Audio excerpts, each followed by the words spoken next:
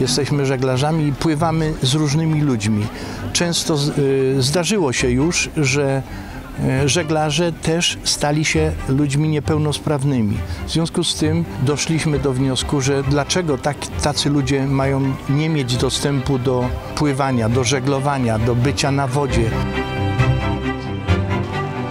W Czankowie nam się przytrafiła taka sytuacja, że był człowiek bez nóg, który pierwszy raz w życiu płynął.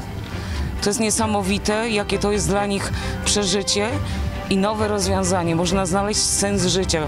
Przez wiele lat siedzą niektóre osoby niepełnosprawne w domach. Tutaj mamy akurat przedstawicieli różnych stowarzyszeń z naszego powiatu.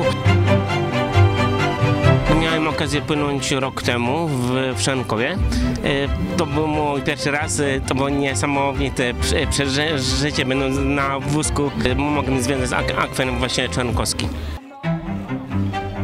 Osoby te są e, bardziej radosne, otwarte, otwierają się do, e, do społeczeństwa, tak? Nie tylko wśród osób niepełnosprawnych, ale też e, jakby chodzi o tą promocję pozytywnych postaw w stosunku do osób z niepełnosprawnością, czyli tego całego środowiska osób pełnosprawnych. Na pewno uczą takiej dyscypliny, cierpliwości. Oni już wiedzą, że, że, że muszą się przygotować do tej imprezy, nastawiają się bardzo.